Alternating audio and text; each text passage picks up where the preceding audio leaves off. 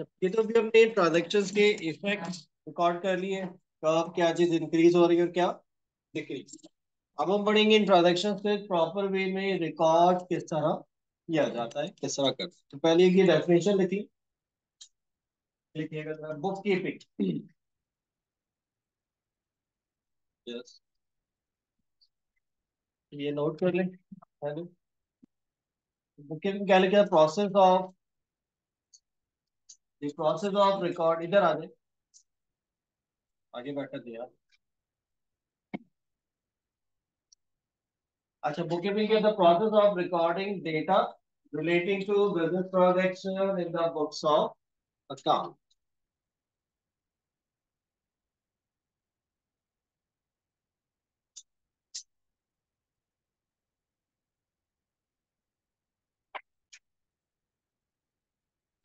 bookkeeping क्या है recording of transaction in the books of अब बुक कीपिंग है रिकॉर्डिंग ऑफ़ ट्रांजेक्शन और ट्रांजेक्शन को रिकॉर्ड कहाँ करते हैं? बुक्स ऑफ़ अकाउंट अब ये बुक्स ऑफ़ अकाउंट्स कितनी टाइप्स की होती है? क्या नाम होते हैं इनके? पहले वो लिख लेते उसके बाद हम पढ़ेंगे वन बाय वन की इनमें रिकॉर्डिंग किस तरह की जाती है। पहले लिख लेते हैं बुक्स ऑफ़ अकाउंट एक फ्लो चार्ट बनेगा। Books of account books of accounts को हम डिवाइड करते हैं दो कैटेगरी प्राइमरी बुक्स और फाइनल एंट्री बुक्स अच्छा प्राइमरी बुक्स या दूसरा नाम बुक्स ऑफ़ ओरिजिनल एंट्री और ये दूसरी टाइप है उसकी फाइनल एंट्री बुक्स अच्छा प्राइमरी बुक्स जो है प्राइमरी बुक्स को हम फर्दर डिवाइड करेंगे, दो कैटेगरीज में डिवाइड करते हैं। जर्नल और सेकेंड स्पेशल जर्नल अब ये बुक के टाइप हो और फाइनल एंट्री में कहा जाता है? जर्नल लेजर अब इसके बाद जो special journal special day books है, इनकी फर्दर सिक्स टाइप्स ये हमारी कंप्लीट बुक्स ऑफ़ अकाउंट्स जिनमें हम ट्रांजेक्शन रिकॉर्ड करेंगे। तो कॉपी कर ले, फिर इसको बात करते हैं। ये लिख ले पहले।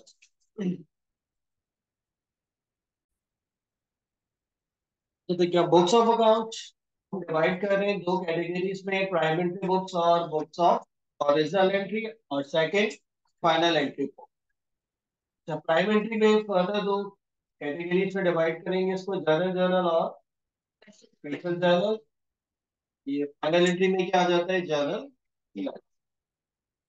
अच्छा अब ये बताइए, जो प्राइमरी बुक्स हैं, इन्हें प्राइमरी बुक्स क्यों कहते हैं और फाइनल एंट्री को फाइनल एंट्री क्यों कहते हैं? इनमें, फिर? जी, ऐसा ही है। है हर ट्रांजेक्शन की जो इनिशियल रिकॉर्डिंग है, वो होगी जर्नल जर्नल में या स्पेशल जर्नल हर ट्रांजेक्शन इनिशियली हम रिकॉर्ड करते हैं, या पहले हम रिकॉर्ड करेंगे जर्नल जर्नल में या स्पेशल जर्नल और उसके बाद हम रिकॉर्ड करते हैं जर्नल लेजर में, और लेजर के बाद फिर कहीं और रिकॉर्डिंग नहीं इससे ये कहलाती है प्राइमेट्री बुक्स इनिशियल रिकॉर्डिंग की वजह से, और ये फाइनल एंट्री बुक्स अच्छा तो स्टार्ट हम करेंगे जर्नल जर्नल से। पहले ये बनाएँगे उसमें हम देखेंगे ट्रांजेक्शन किस तरह रिकॉर्ड की जाती है। के बाद जर्नल लेजर बनाएँगे रिकॉर्डिंग करेंगे और आफ्टर में फिर स्पेशल डेमोस बनाएँगे। तो स्टार्ट करते हैं जर्नल जर्नल से और ट्रांजेक्शन को रिकॉर्ड करेंगे इसमें। तो पहले इसका फॉर्मेट में आपको दिखा देता हूँ। फॉर्मेट होता क्या है उसके बाद हम पढ़ेंगे ट्रांजेक्शन को रिकॉर्ड किस तरह किया जाता स्टार्ट करते हैं जर्नल जर्नल तो ये पहले इसकी हेडिंग्स आ जाएँगी ऊपर कंपनी नेम आ गया जर्नल जर्नल और ये इसका फॉर्मेट है। ये इसका फॉर्मेट है। इसको पहले समझ ले, बाद में कॉपी कर लीजिएगा। अच्छा फ़र्स्ट कॉलम इसमें डेट का इसमें ट्रांजेक्शन की डेट लिखेंगे के बाद डिस्क्रिप्शन है, इसमें डिस्क्रिप्शन आएँगे हर ट्रांजेक्शन के। इसके बाद लिखा हुआ पी स्लैश आर इसके full form post reference post reference इसके बाद एक कॉलम है डेबिट का दूसरा कॉलम है कैश अच्छा डेट के कॉलम में तो आ जाएगी डेट डिस्क्रिप्शन में इसका डिस्क्रिप्शन लिखेंगे हम ट्रांजेक्शन का. पोस्ट रेफरेंस का कॉलम फ़िलहाल यूज़ नहीं होगा. इसके बाद फिर दो कॉलम है डेबिट और क्रेडिट अच्छा अब अभी हमने पढ़ा है इसमें two point one two three four में कि ट्रांजेक्शन के दो इफेक्ट्स होते हैं ना? ये हमने अभी बात की इसमें. तो ट्रांजेक्शन के दो इफ़ेक्ट होते हैं दोनों इफेक्ट्स यहाँ पे रिकॉर्ड होंगे। एक इफ़ेक्ट रिकॉर्ड होगा डेबिट कॉलम में, दूसरा इफ़ेक्ट रिकॉर्ड होगा क्रेडिट कॉलम अच्छा ये डेबिट क्रेडिट होते क्या है? दिस वाज डेबिट क्रेडिट इसके क्या मीनिंग क्या है? कोई एक्सप्लेनेशन कोई definition what is debit what is credit ये तो रूल ये तो रूल हो गया। एसिड एक्सपेंस होता है कैपिटल नहीं। सिर्फ़ एसिड एक्सपेंस ये तो रूल हो गया।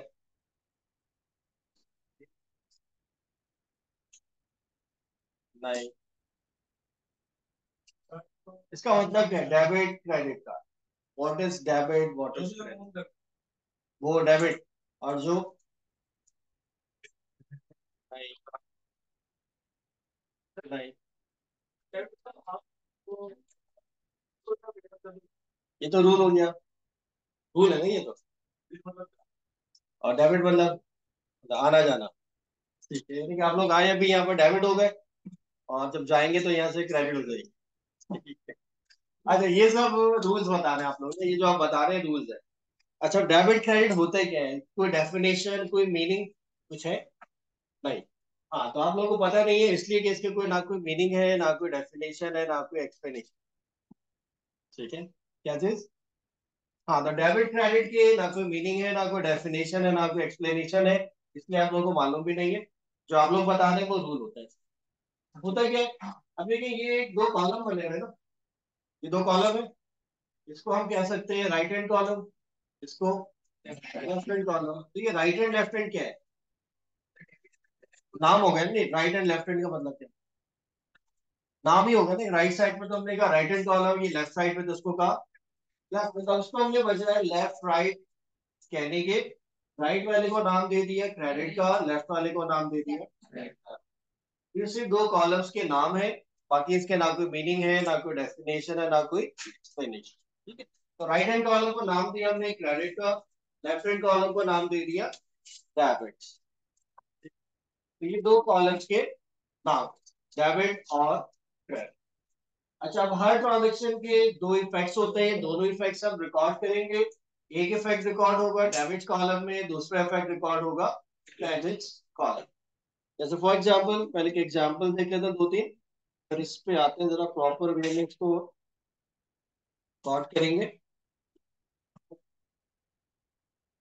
अच्छा आप जैसे अभी हमने क्वेश्चंस किए थे 2.1 से 4 तक, उनमें पहले ट्रांजैक्शन हर क्वेश्चन में क्या थी कि started business with one lakh in cash या कैपिटल इसके दो इफ़ेक्ट क्या होते हैं? वन लाख से आपने बिज़नेस स्टार्ट किया इन्वेस्टमेंट की। एसेट इंक्रीज कैपिटल इंक्रीज तो एक इफ़ेक्ट हम रिकॉर्ड करेंगे डेबिट कॉलम में दूसरा इफ़ेक्ट हम रिकॉर्ड करेंगे क्रेडिट कॉलम अब हमने बैंक से लोन लिया। इसके दो इफेक्ट्स क्या होंगे? एसेट इंक्रीज लाइबिलिटी इंक्रीज तो एक इफ़ेक्ट रिकॉर्ड होगा डेबिट कॉलम में और दूसरा इफ़ेक्ट रिकॉर्ड होगा क्रेडिट कॉलम हमने फर्नीचर बाय किया क्रेडिट पर। फर्नीचर बाय किया क्रेडिट पे। इसके दो इफेक्ट्स क्या होंगे? एसेट इंक्रीज लाइबिलिटी इंक्रीज तो एक इफ़ेक्ट रिकॉर्ड होगा डेबिट कॉलम में, दूसरा इफ़ेक्ट रिकॉर्ड होगा क्रेडिट कॉलम बाकी ये तो फिर अभी समझा रहा हूँ प्रॉपर वे में रिकॉर्ड करेंगे अभी। अच्छा अब यहाँ पर क्वेश्चन आपके जहन में आना चाहिए कि कब, कौन सा इफ़ेक्ट डेबिट कॉलम में रिकॉर्ड होगा कब क्रेडिट कॉलम। जैसे फ़र्स्ट एग्ज़ाम्पल में क्या था, फ़र्स्ट ट्रांजेक्शन एसेट इंक्रीज हुए, कैपिटल इंक्रीज है ना, तब डेबिट में क्या आएगा? एसेट या कैपिटल, क्रेडिट में क्या आएगा? सेकंड हमने बैंक से लोन लिया, इसके दो इफेक्ट्स क्या होगा एसेट इंक्रीज, लाइबिलिटी इंक्रीज। तो कौन सा इफ़ेक्ट डेबिट कॉलम में आएगा, कौन सा? क्रेडिट में। एसेट डेबिट होगा, लाइबिलिटी डेबिट होगी, या क्रेडिट क्या होंगे? यहाँ हमने फर्नीचर बाय किया इफ़ेक्ट क्या होगा? एसेट इंक्रीज लाइबिलिटी इंक्रीज अब डेबिट में क्या रिकॉर्ड होगा? क्रेडिट में क्या रिकॉर्ड होगा? ठीक है। तो इसके लिए हमारे पास कुछ रूल्स है। क्या प्रॉपर रूल्स है कि कब, कौन सा इफ़ेक्ट डेबिट कॉलम में रिकॉर्ड होगा और कब क्रेडिट कॉलम तो पहले इसके रूल्स लिख लेते उससे ही आपको समझ आ जाएगा कब आपने क्या चीज़, कब डेबिट में क्या रिकॉर्ड होगा क्रेडिट में क्या रिकॉर्ड अच्छा इसके रूल्स क्या है? अब रूल्स ये है डेबिट क्रेडिट के। Rules of debit and credit ये जो समझ लिया अभी कॉपी बाद में करेंगे। अच्छा ये रूल्स है। यहाँ पर देखिए लिखा हेड्स ऑफ़ अकाउंट फाइव होता है ना assets expense revenue liabilities capital rules क्या है? एसेट्स अगर इंक्रीज हो रहे हैं तो डेबिट कॉलम में रिकॉर्ड करेंगे। एसेट्स डिक्रीज हो रहे हैं तो क्रेडिट कॉलम में रिकॉर्ड करेंगे। एक्सपेंस इंक्रीज हो रहे हैं डेबिट कॉलम में रिकॉर्ड होंगे एक्सपेंस डिक्रीज हो रहे हैं क्रेडिट कॉलम में रिकॉर्ड इनकम इन डिक्रीज हो रही है डेबिट कॉलम में रिकॉर्ड करेंगे इंक्रीज हो रही है तो क्रेडिट कॉलम इसी तरह फिर लाइबिलिटीज और कैपिटल डिक्रीज हो रहे हैं तो डेबिट कॉलम में रिकॉर्ड करेंगे इंक्रीज हो रहे हैं तो क्रेडिट कॉलम में रिकॉर्ड तो ये रूल्स है जिनको फॉलो करते हुए हम डिसाइड करेंगे कि कब, कौन सा इफ़ेक्ट डेबिट कॉलम में रिकॉर्ड होगा और कब अच्छा इसमें देखिएगा एसेट्स और एक्सपेंस के लिए रूल्स सेम है। लाइव इनकम लाइबिलिटीज और कैपिटल के रूल्स सेम जी। अभी पढ़ेंगे सब। इन्वेस्ट करेंगे इंक्रीज होगा ड्रॉ करेंगे। ठीक हो जाएगा पैसे अगर निकाल लिए आपने कम हो जाएगा। रूल्स हो गए। अच्छा इसको थोड़ा ध्यान में रखिएगा हमने पहले हमने क्या डिस्कस की?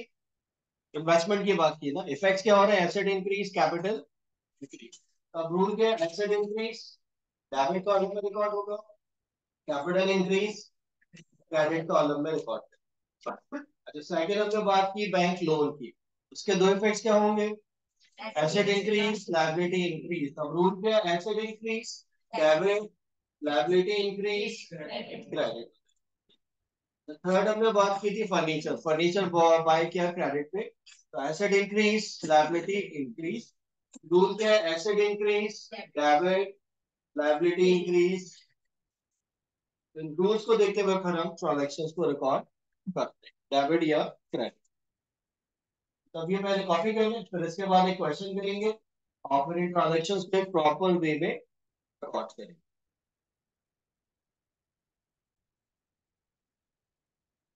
तो question number two point one अब उसमें कुछ ट्रांजेक्शन गिवन है उसको हम बनाएँगे जनरल जनरल बनाकर ये ट्रांजेक्शन रिकॉर्ड कर सकते हैं।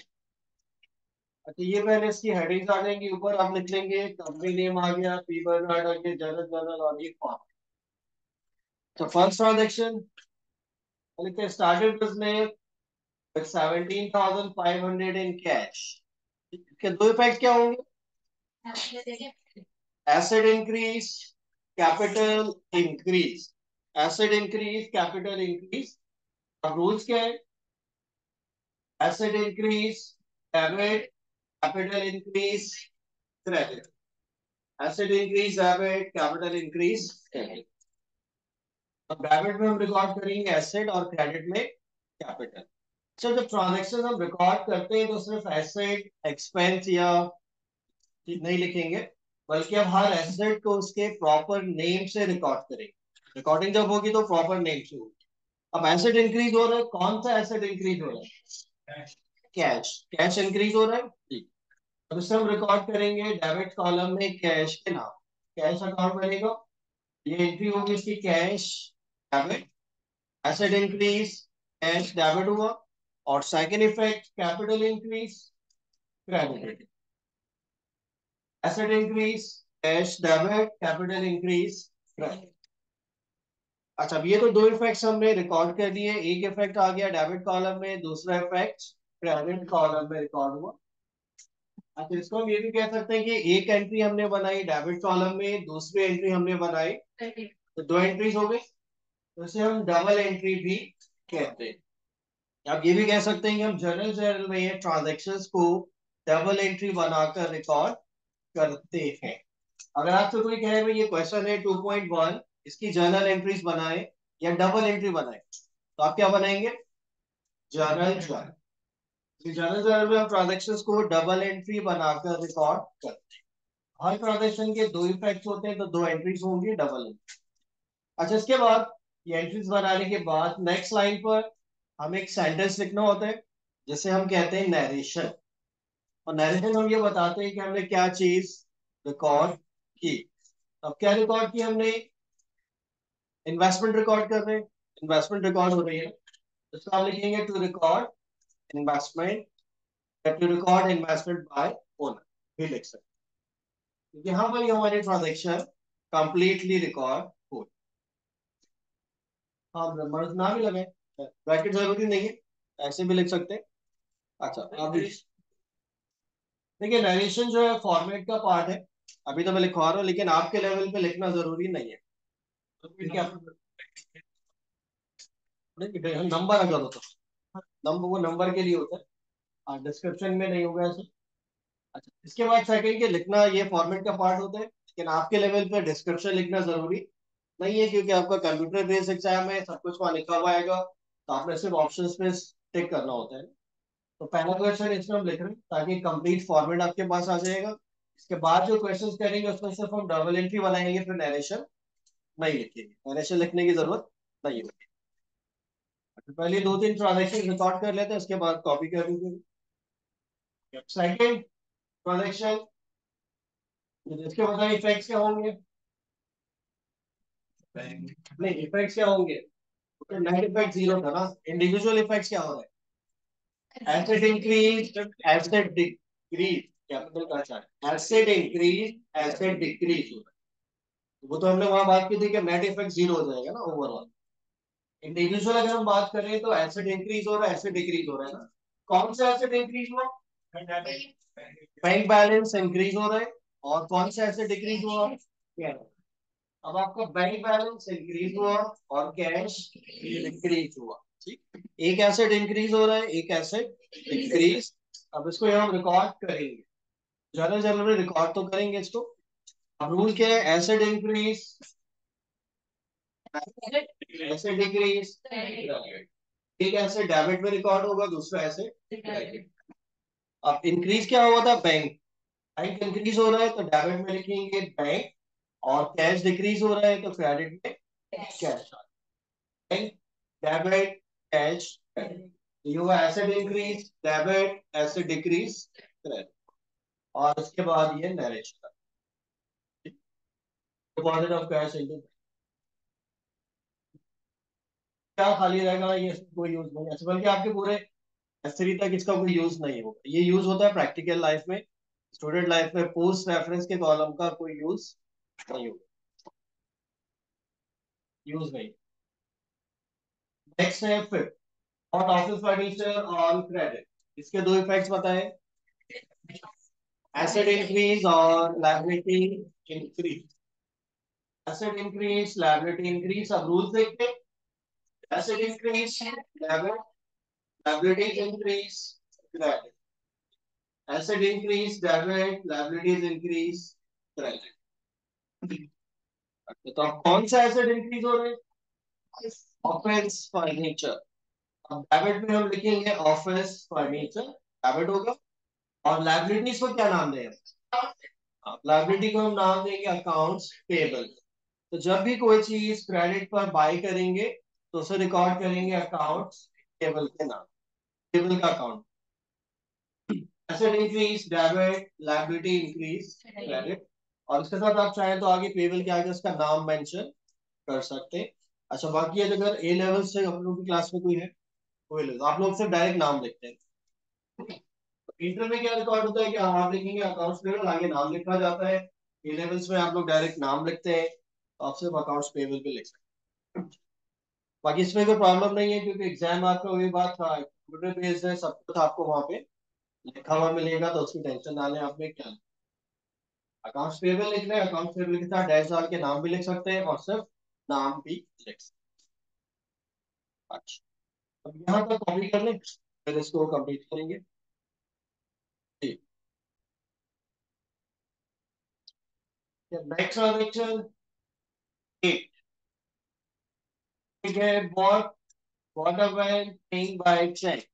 इसके दो effects asset increase asset decrease अब कौन सा एसेट इंक्रीज हुआ?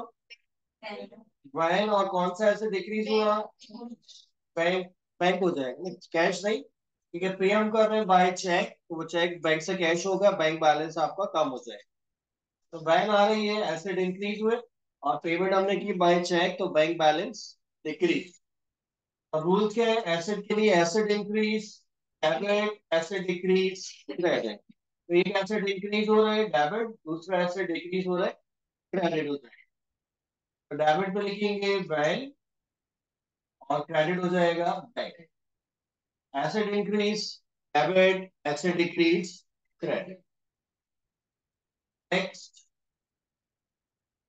bought equipment from peers and sons on credit. इसके दो effects asset increase liability increase अब रूल्स क्या है? Asset increase debit liability increase credit asset increase debit liability increase credit कौन सा एसेट इंक्रीज हुआ इक्विपमेंट तो डेबिट में लिखेंगे इक्विपमेंट्स डेबिट और बाय कैसे कि हमने? क्रेडिट पर लाइबिलिटी इंक्रीज हो रही है credit asset increase debit liability increase credit और ये इसकी नरेशन नेक्स्ट जब ट्रेड होगा था अकाउंट पे। 18 returned faulty office furniture to Dream Limited. इसके दो effects asset decrease liability decrease क्योंकि हमने फर्नीचर बाय किया था क्रेडिट पर उसको लाइबिलिटी इंक्रीज हुई थी। आप रिटर्न करेंगे तो लाइबिलिटी डिक्रीज हो जाएगी। तो अब रूल्स क्या है? Asset decrease credit liability decrease liability decrease debit है एसेट डिक्रीज क्रेडिट तो अब डेबिट में हम रिकॉर्ड कर लिखेंगे अकाउंट्स पेबल डेबिट होगा, और ऑफ़िस फर्नीचर क्रेडिट होगा। Liability decrease debit asset decrease credit अच्छा यहाँ पर एक चीज़ नोट कर ले। अक्सर स्टूडेंट गलती क्या करते हैं? पहले आप लिखते हैं ऑफ़िस फर्नीचर क्रेडिट में, और अकाउंट्स पेबल नेक्स्ट लाइन पर डेबिट तो ये रॉन्ग हो जाएगा। ठीक है? अक्सर ये भी करते हैं स्टूडेंट पहले क्या लिखेंगे? Office furniture credit accounts payable debit तो ये एंट्री आपकी गलत हो जाएगी। याद रखिए डेबिट हमेशा पहले रिकॉर्ड होगा क्रेडिट बाद। डेबिट हमेशा पहले आएगा क्रेडिट बाद में आएगा। क्रेडिट पहले डेबिट बाद में नहीं होगा। डेबिट हमेशा पहले क्रेडिट बाद। Liability decrease debit asset decrease credit ठीक। कॉपी कर लें।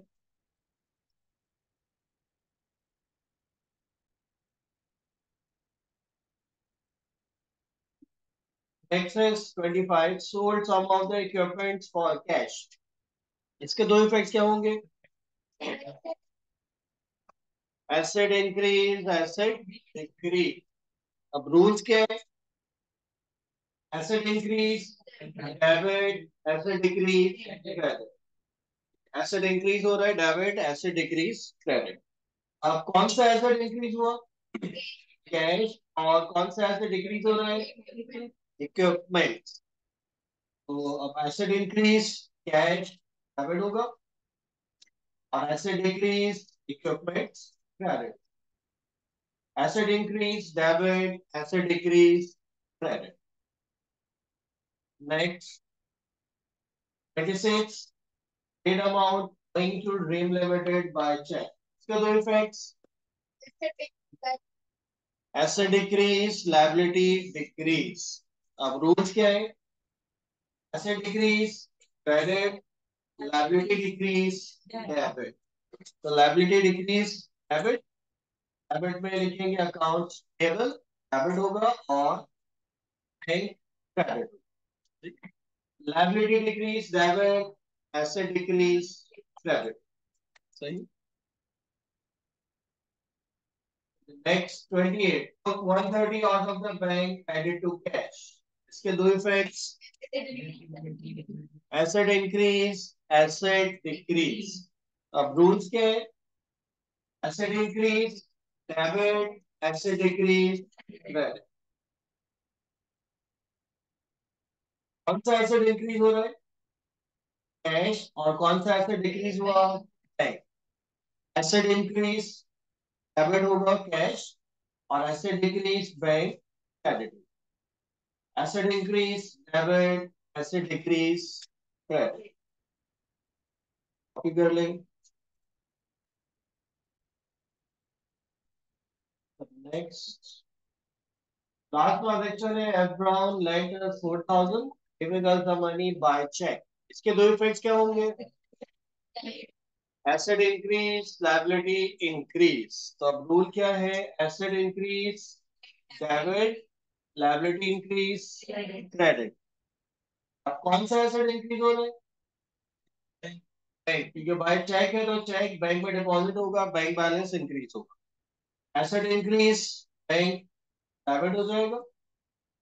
और सेकंड इफ़ेक्ट है लाइबिलिटी इंक्रीज क्रेडिट जब लाइबिलिटी को हम अकाउंट्स पेबल के नाम से रिकॉर्ड नहीं करेंगे, बल्कि अब इसे हम रिकॉर्ड करेंगे लोन पेबल ये डिफरेंस याद रखिएगा, जब कोई चीज़ बाय करेंगे ना क्रेडिट पर बाय कर रहे हैं तो अकाउंट्स पेबल और अगर हम बोरो कर रहे हैं तो लोन पेबल देखिए, जब कुछ चीज़ इसमें हुआ क्या है? यहाँ पे हमने बोरो किया है लोन ले रहे हैं। उससे पहले हम क्या कर रहे थे जैसे यहाँ पे हमने फर्नीचर बाय किया था क्रेडिट जब क्रेडिट पे कोई चीज़ बाय करेंगे तो उसे रिकॉर्ड करेंगे अकाउंट्स पेबल के नाम से, और जब बोरो करेंगे तो लोन पेबल ठीक है। लोन पेबल एक डिफरेंस रहेगा। लोन पेबल से हम समझ जाएँगे कि हमने पैसे बोरो किए, और अकाउंट्स पेबल होगा तो आप समझ जाएँगे आपने कोई चीज़ क्रेडिट पर बाय इसमें डिफरेंशिएट करने के लिए अलग अलग अकाउंट बनाए जाते टू पॉइंट टू चेक कर लें।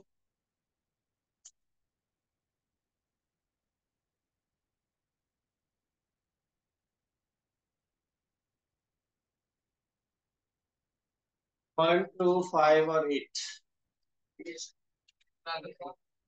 इतना तो सही है। ठीक है। यहाँ तक same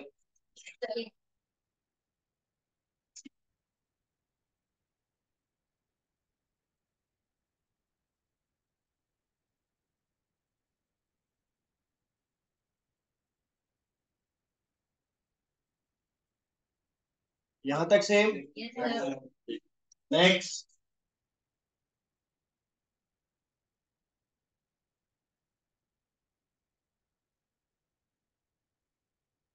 twelve fifteen nineteen twenty one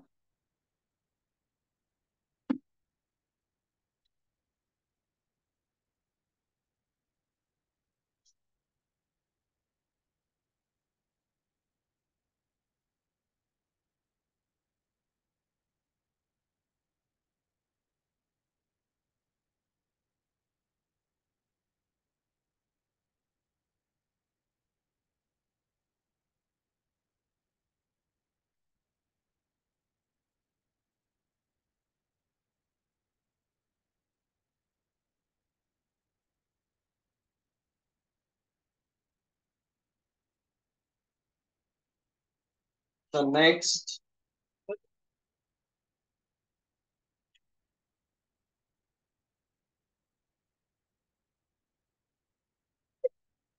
Five or thirty.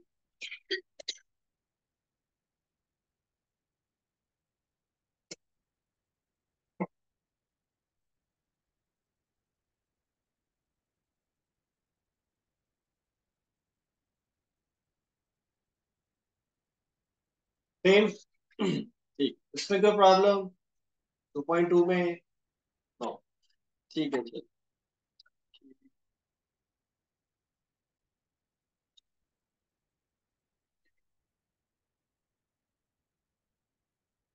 Two point three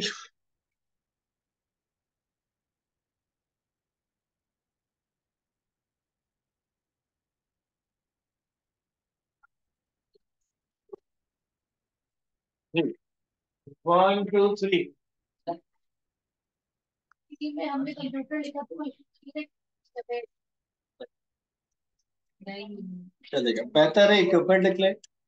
गलत नहीं इक्विपमेंट बेहतर है।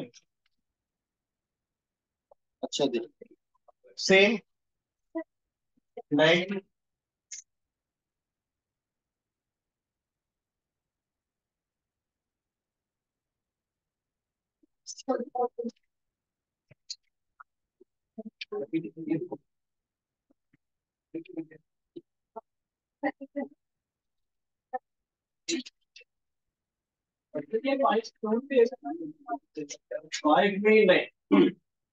इसमें लिखा गया ट्रांजेक्शन बड़ी।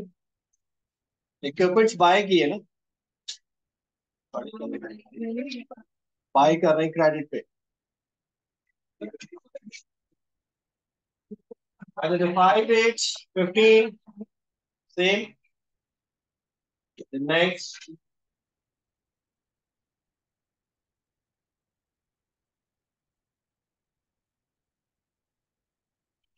Seventeen, twenty-four, or thirty-one.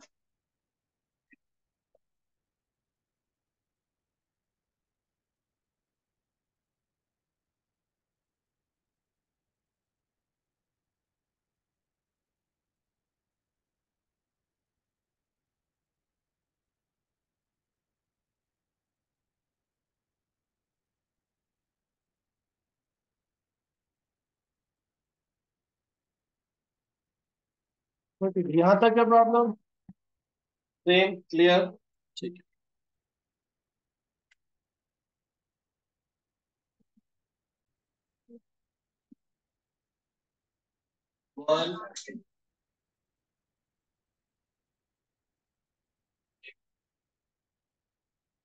Okay one two three five two point four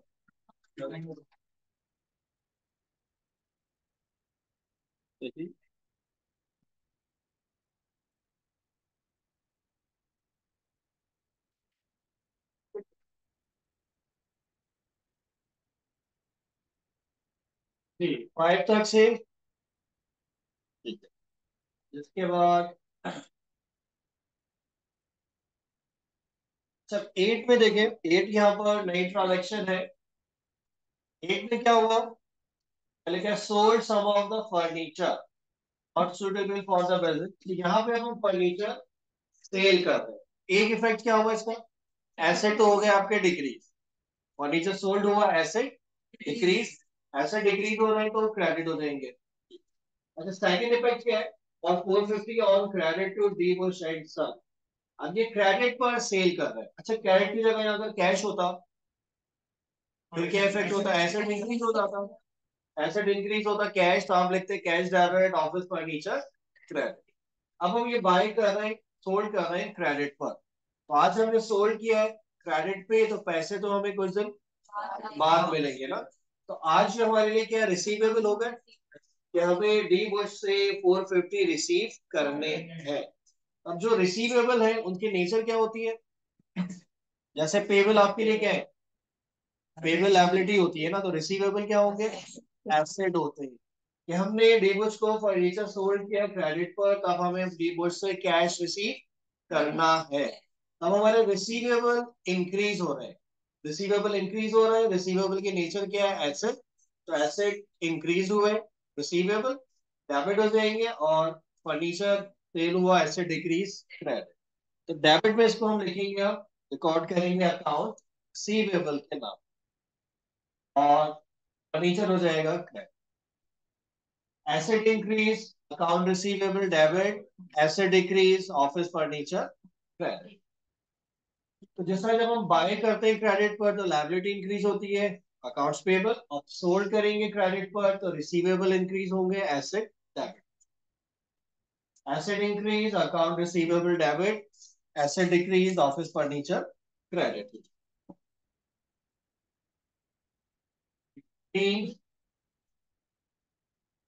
अच्छा फिफ्टीन के बाद ट्वेंटी थ्री ट्वेंटी थ्री तो वो एट से कनेक्ट है. अब एट में हमने फर्नीचर सोल्ड किया था क्रेडिट पर रिसीवेबल थे अब ट्वेंटी थर्ड को हमें कैश रिसीव हो. यहाँ पे हमें डीबू से कैश रिसीव हो रहा है. इसके इफ़ेक्ट क्या होंगे? कैश इंक्रीज हुआ. ये तो डेबिट हो जाएगा.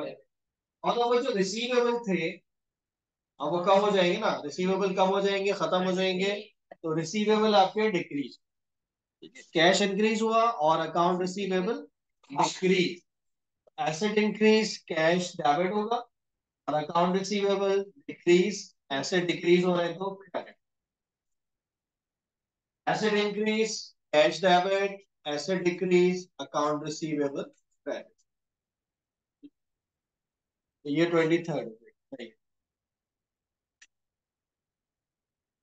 और ये लास्ट है थर्टी वन मशीन डेबिट और बैंक क्रेडिट